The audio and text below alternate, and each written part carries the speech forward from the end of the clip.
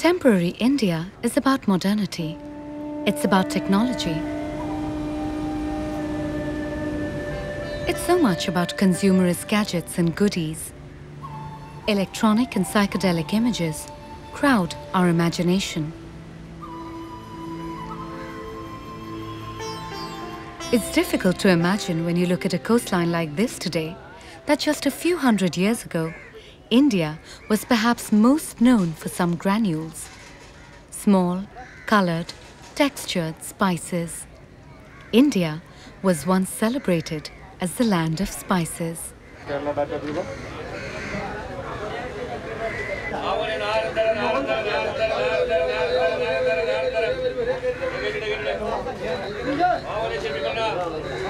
Even during the Roman and Greek empires, Indian spices were very popular. Perhaps even before that. Slowly, compulsively, spices sucked in Kerala's calm, placid fishing hamlets into the vortex of world trade, where India soon became predominant.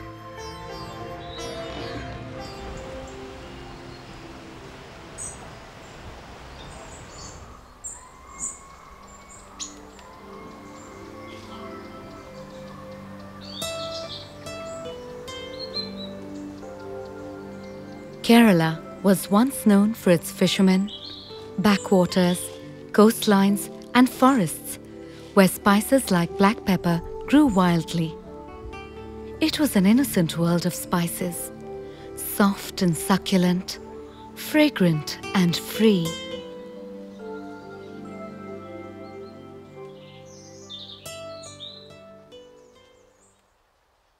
Spices have been used since ages in different cultures for different purposes. That's why spice dealers have always had business to do. Archaeology and legend trace spice history to the earliest civilizations.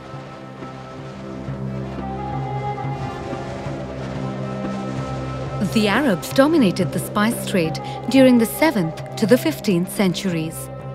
They supplied Europe with spices but kept their source of spices, India and the Indonesian islands, a guarded secret.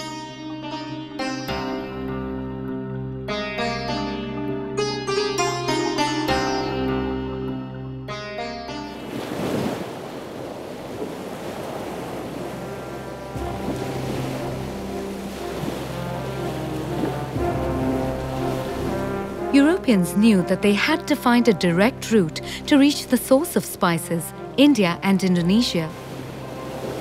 There were around 997 sea voyages in search of black pepper alone in the last millennium.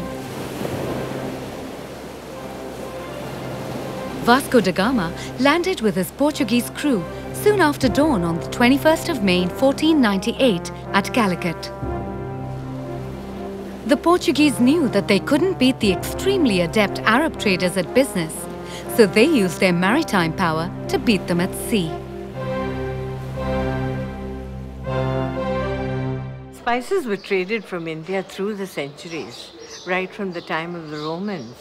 So uh, the Portuguese did nothing new except that they came by sea and took back vast quantities of spices, which changed European history because what was a luxury item now became a common man's uh, food. And so the trade increased many times over. The Arabs, already entrenched in Malabar spice trade, resented the Portuguese traders. It's only after much difficulty that Vasco da Gama managed to persuade the Raja of Calicut to grant the Portuguese a limited permission to trade. This is the house in Fort Kochi where Vasco da Gama is believed to have lived half a millennium back. It's near Mattancherry, where the ancient spice market was located. The most valuable spice in medieval Europe was black pepper.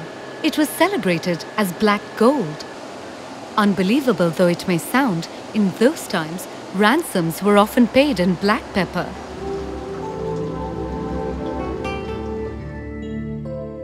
Lisbon was the new entrepot of the European spice trade. the power had clearly shifted from Venice to Lisbon. Europeans seem to have loved spices between the 11th and the 16th centuries. That aristocrats served platters overflowing with spices, much like we serve dessert today.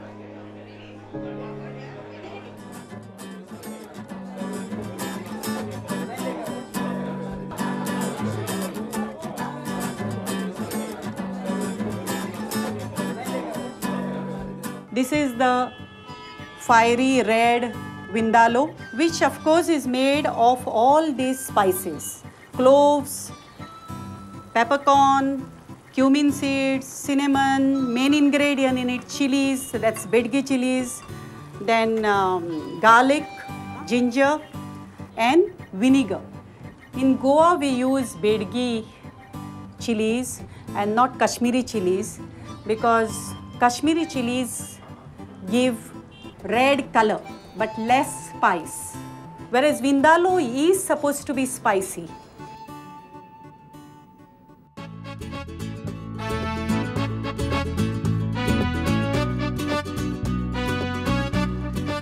There is evidence of the rise and fall of the Arabs, the Portuguese, the Dutch, and the British as they jostled for control over Malabar's lucrative spice trade. The architecture of Fort Kochi, where Vasco da Gama lived for a while, stands testimony to Kerala's tryst with history.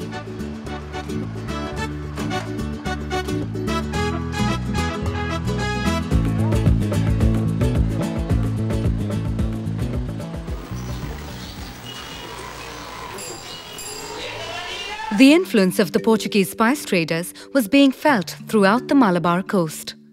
This is a place where you have intermingling of various cultures, whether they are East Indians staying here, you have Brahmins staying here, you might be having around outside Kotachiwadi, Chandrasena Kayastha Prabhu, or you have the Pathare Prabhus. And if you observe, all of them are using the same spices. In this urban village of Mumbai called Kotachiwadi, the flavor of Portuguese culture can be felt to this day. Most of the community here shared certain traditions, and the traditions are very closely wound around the spices that were powdered and put into a bottle. Now, this is something unique to the East Indian community that I belong to.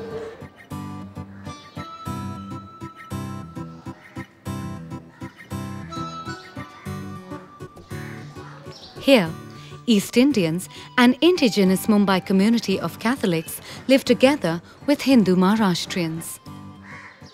Kotachiwadi is a reprint of history.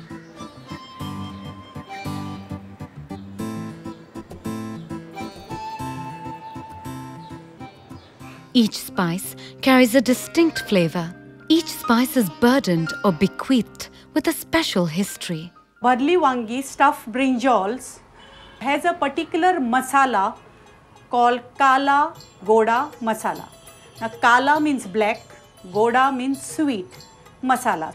Now the word sweet doesn't mean that it is very sweet but it is not spicy. In Kala Goda masala they use more black spices and that's why it is black masala like cloves, cinnamon, peppercorn, uh, black cardamom, then uh, the other spices that go is cumin seeds and coriander seeds and fenugreek seeds and bay leaves and, and all these together which also includes dry coconut makes Kala Goda masala.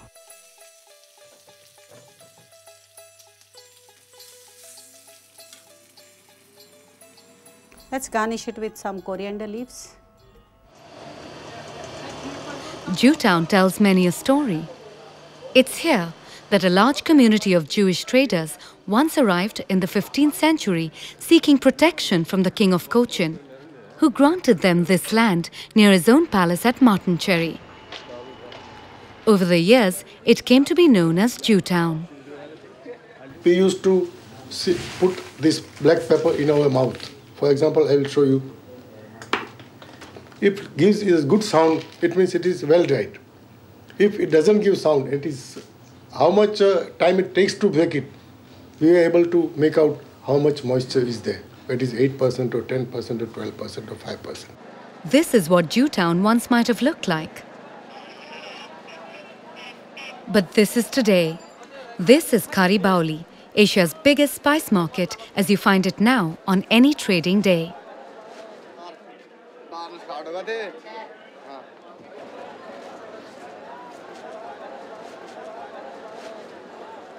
Deals being made and unmade, tough negotiations, the scintillating smell of spices, the strong, pungent aroma in the air ready to suffocate. Red chilies provoking endless cuffs and tears, even as trading goes on.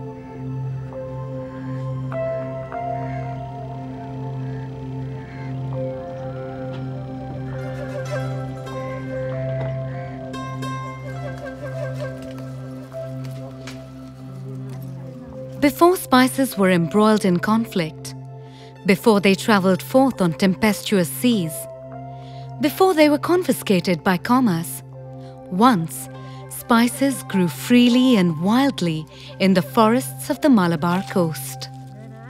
Spices lost their innocence as foreign traders began to exploit them commercially. The colors of commerce didn't allow spices the luxury of growing in the wild.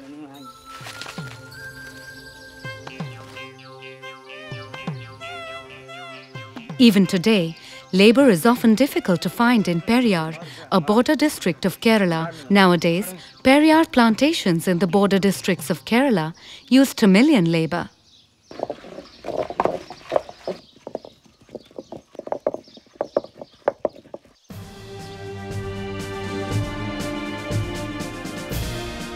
The Marathas learnt the use of red chilies while battling the Portuguese in Goa.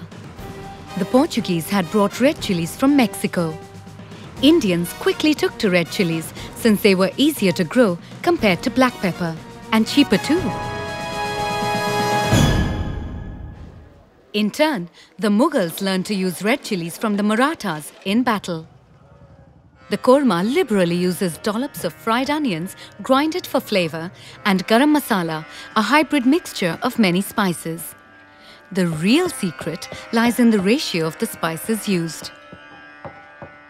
The garam masala adds its aroma and taste to create a traditional Mughlai dish that still lives on in the bylanes of Turkman Gate, which was once the backyard of the Mughal Empire.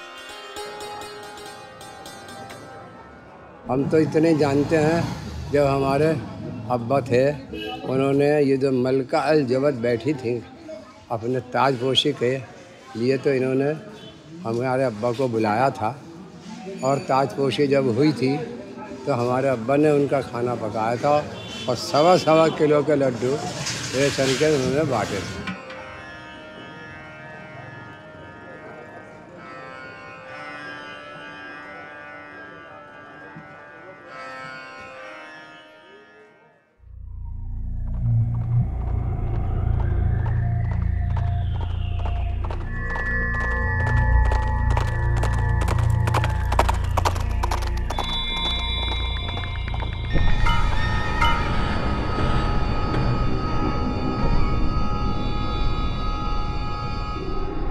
Within India, invasions and wars were transmitting spices.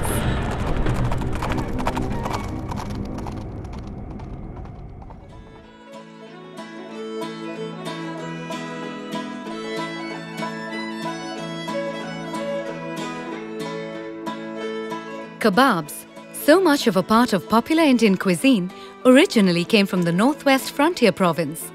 Their taste and flavor is carefully created with aromatic Indian spices.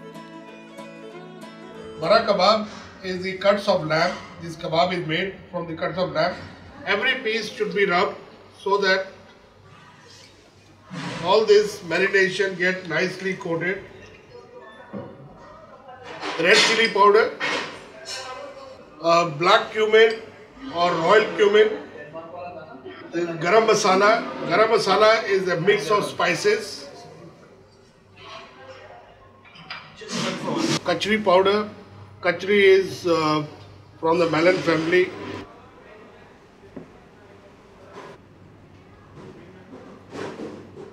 when we Aryans came from the Central Asia and that maybe 5,000 years or 6,000 years back, and the food traveled and while traveling on the way, you know, it picked up the different uh, kind of meats and different kind of spices or the herbs. The lot of experimentation kept happening, and the food, a particular kind of food, evolved. One method of cooking which is used is the food cooked in on charcoal in tandoor.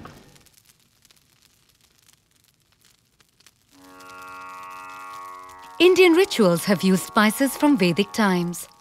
Om Jyoti Dadhe Agnaye Yagnas require ritual offerings of spices like cloves, cardamom, and cinnamon.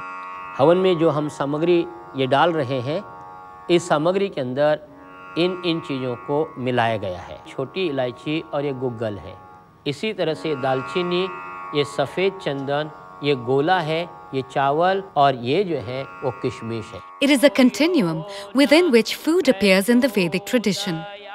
চল চল তাড়াতাড়ি সবাই এসে পড়বে এক্ষুনি চল দেখি খুব সুন্দর দেখাচ্ছে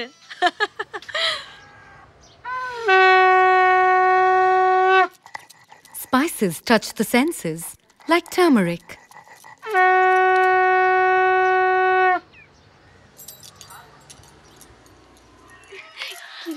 দেরি করে এলি এত খুব সুন্দর লাগছে দেরি করে আলি কেন তুই আরও তাড়াতাড়ি আসতে পারিস নি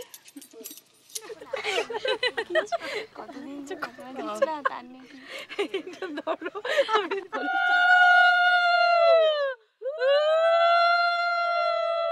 As haldi is pasted on a bride's body, her appearance changes. The mood sets in. সুযোগ পেয়েছি তো একদম শেষ করে আরে আর বাকি কোথায় তোকে মাখাই দাঁড়া তোকে আমি ছাড়বো নাকি The pungent yellow is an alluring contrast to the vermilion red, making the bride sparkle, glow, and celebrate.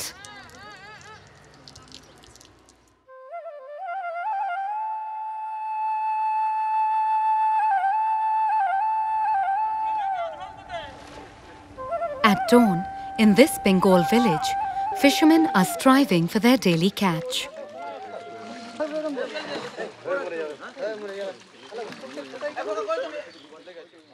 If it's hard work in chilly waters, now there's a ray of sun to reward the effort soon.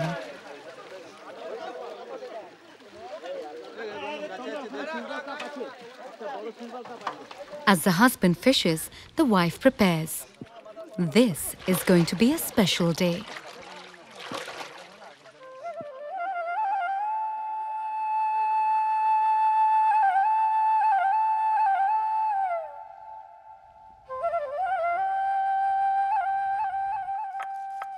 বাহ এই নাও তোমার মাছ। এবার জম্পেস করে রাঁধো দেখি। আমার তো মশলা বাটাই হয়ে গেল। বাহ বাবা একটু করে নাও আর কি করবে?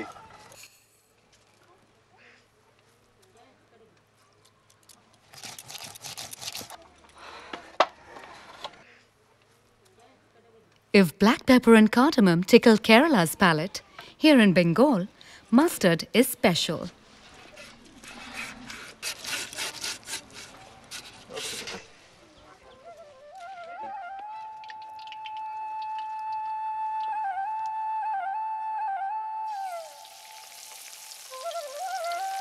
In fact, all Bengali food is traditionally cooked in mustard oil. Its special aroma gives Bengali cuisine its special character.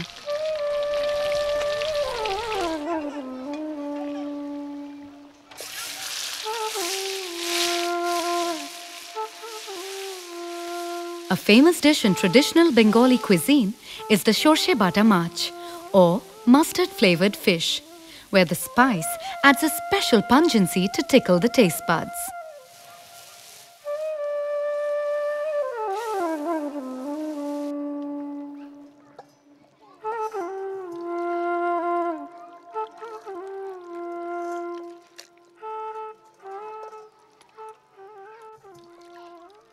If mustard is being used to prepare a fish delicacy during the day, as the sun is about to set, the woman uses the self-same shorsho or mustard for a completely different purpose. In parts of eastern India, there's a belief that the evil eye or nazar can be cast away through this ritual called shorshopoda, using mustard and red chilies.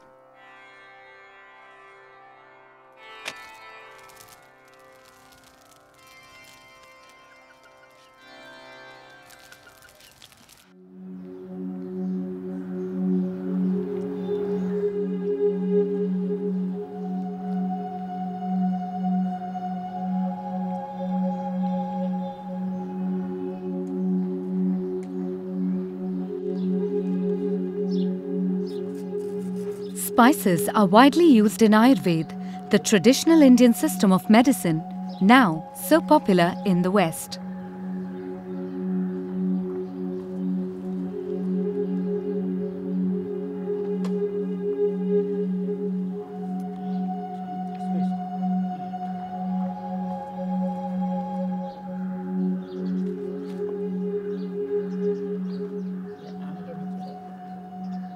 In fact, Ayurveda is part of a holistic body of ancient Indian knowledge that shares common roots and a common philosophy.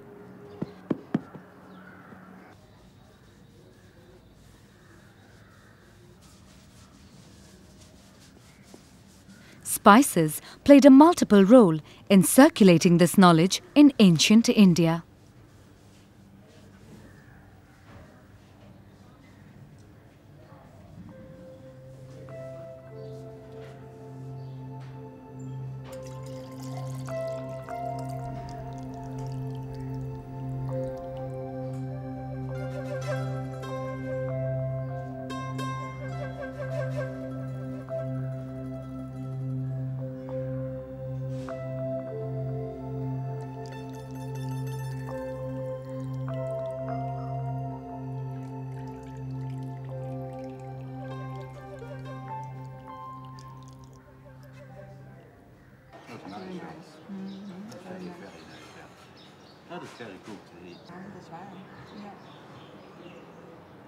In this food, spices play a major role because right spices will help you stimulate your digestive enzymes.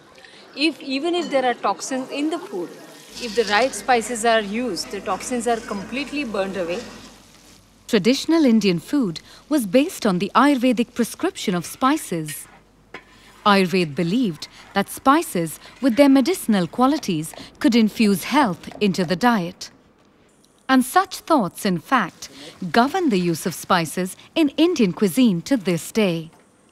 It's amazing how an essentially social system of medicine was integrally linked to the culinary culture of ancient India.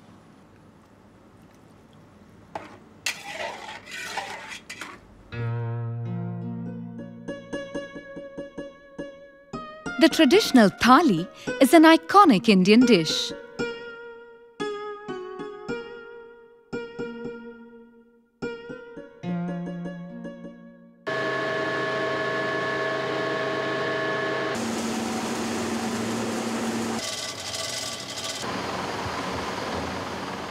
Today, spices have successfully reinvented themselves for a contemporary world.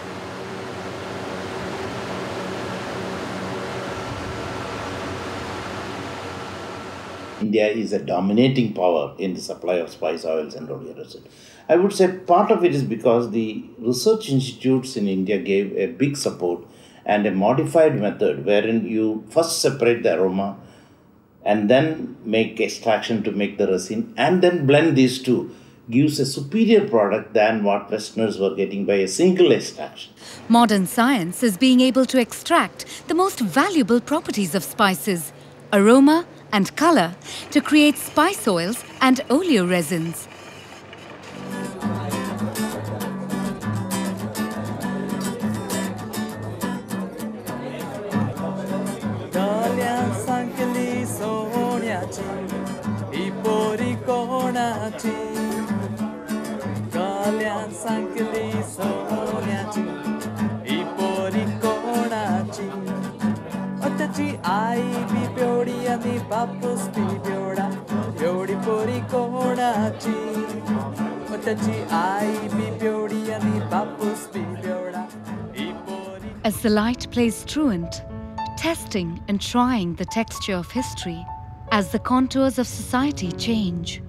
the colors of spices, their essential aroma remains universal.